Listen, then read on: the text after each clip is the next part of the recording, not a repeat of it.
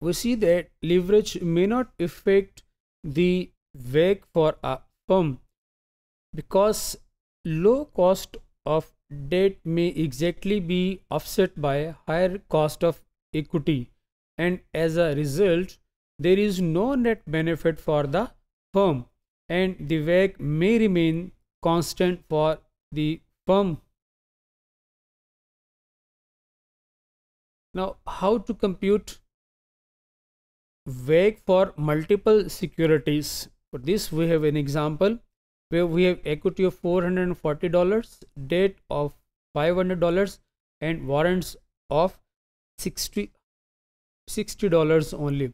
The cost of debt is 5% and the weighted cost of on of of warrants or the return on warrants is 75% whereas the return of levered equity is equal to 18.18% to determine the return on levered equity we have uh, an additional computation where we have to uh, calculate first the expected value of payoffs on the equity.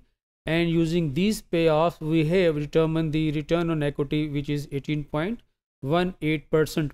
Now we have to determine the proportional weights of the equity debt and the warrants. Then we are multiplying the individual securities return with the securities computed weight and this will give us the weighted cost of that particular security. As then in the end we sum up the weighted cost of the three securities and the resulting cost is termed as the WACC and that WACC for these three securities is equal to 15%. Now what is levered and its relation with unlevered betas? We know that a firm's unlevered beta or the or its assets beta is the weighted average of its equity beta and its debt beta. This means that beta of unlevered firm is the sum of its proportional equity beta and its proportional debt beta. Now, this unlevered beta measures the market risk and this unlevered beta can also be used as proxy for other firms. A change in capital structure without changing the investment pools does not change the unlevered beta of the firm because its equity beta will change to reflect the ch change of capital structure due on its risk. This means that the beta of equity will be the sum of unlevered beta plus the additional beta due to the leverage effect and this means that the beta of equity in this particular case or the levered beta may also increase with the leverage in the firm. We have an example to understand this unlevered and levered betas. We have equity beta of 0.8, debt equity ratio of 0.1. We have debt beta equal to 0. So how the asset beta would be we have the model of unlev unlevered beta which is equal to the proportional equity beta and the proportional debt beta using this value. In this model we have the asset or unlevered beta equal to uh, 0.73 now assume that we have debt equity ratio of 0.5 increase from the earlier of 0.1 so what will be the equity beta now we have a little change to our unlevered beta. We now the equity beta or the levered beta will be equal to the unlevered beta plus the additional beta due to the debt as multiplied by the debt equity ratio.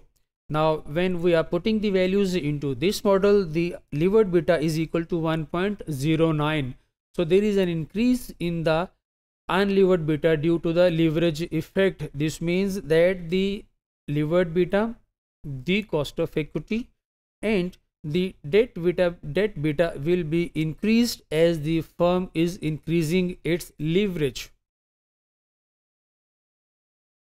So, is there any effect of cash on the firm's cost of capital?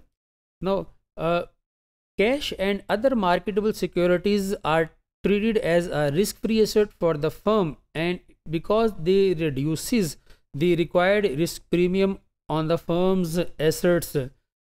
This means that excess cash holding has an opposite effect of the leverage on risk and return on the firm's securities. This means that the additional cash holding and the marketable securities are viewed as a negative debt for the particular firm. If we are to determine the firm's enterprise value, we can determine its enterprise value by deducting its cash holding and marketable securities from its uh, overall value or the total value this means that we have to take in fact the net debt of the firm to determine its enterprise value and to determine this net debt we need to deduct its excess cash holding and other marketable securities from the firm's total debt.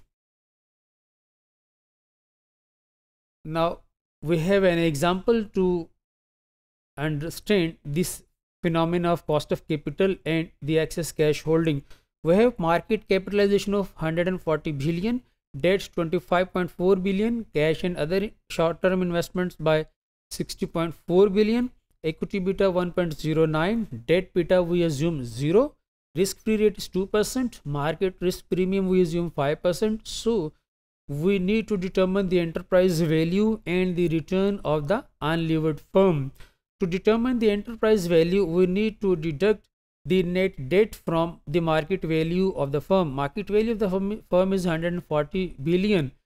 Now to determine the net debt, we need to deduct the cash investment of 60.4 billion from its debt value of 25.4 billion. The resulting enterprise value is 105 million. Now the other computation is the unlevered cost of capital or the unlevered equity cost now we put the val given values into the model of the unlevered cost of equity. The resulting value is 9.25%. So this means that as we are decreasing our debt, then the uh, unlevered cost of debt has also decreased.